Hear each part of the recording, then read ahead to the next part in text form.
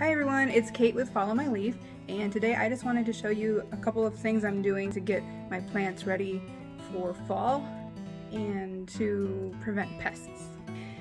So if you're in a northern climate or almost anywhere besides Florida or southern Texas, you probably are br bringing your plants inside for the winter. This is an example. These are some other outdoor plants I brought in. Uh, a couple of weeks ago, I did sprinkle these with my systemic pesticide. It's called Bonide Systemic Granules, and this kills everything in the soil and will be taken up by the plants in case anything chews on the plant. Also, in case I'm bringing in anything like thrips or spider mites, dun dun dun. I bought a lot of plants recently so I was looking up and saying, oh, I need to water some of my plants. And before you water, you need to add your pesticide. Um, this is imidacloprid. So this is good for um, fungus gnat eggs in the soil and thrips and leaf miners.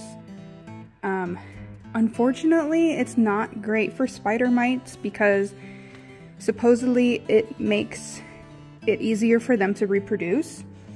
So if you have plants that you're worried about spider mites or you have had spider mites in the past, I would avoid using this and use a miticide instead, like Azamax.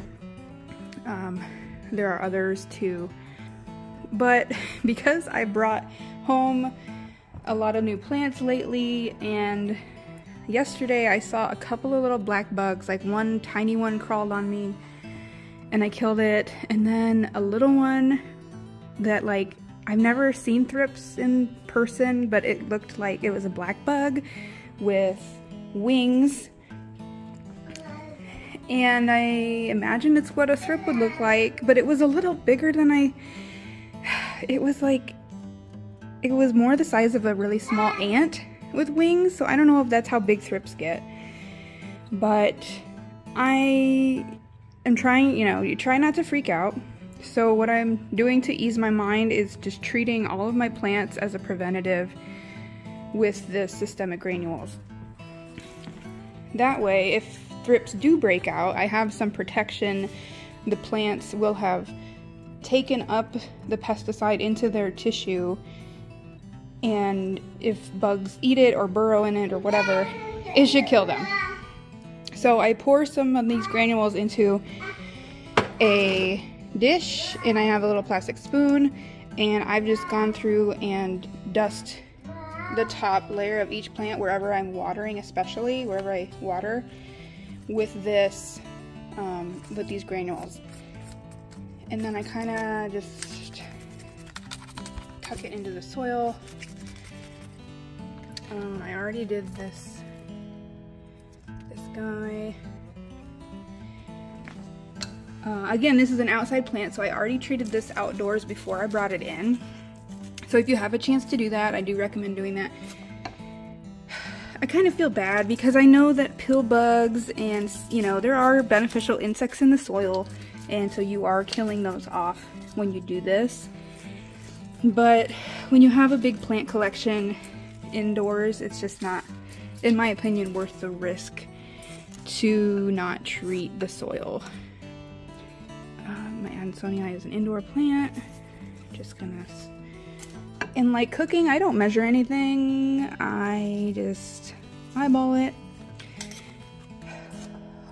And I'm not the best at fertilizing. Like I do it when I remember and I've done it a couple times this year with liquid fertilizer when I water. This is a new plant from somebody that was outdoors. Um, but I might buy some, my plan is to buy some um, fertilizer slow release beads and put them on the top of the soil. I know I'm not supposed to do that in fall, but I feel like I've neglected everyone. So what do you think? It's October 1st and know. I feel like if you're hungry, you're hungry, you know? Maybe one last fertilizer before, fertilizing before winter. I'm in central Illinois and the sun sets by 7 o'clock at night now, so we are getting lower light, but um,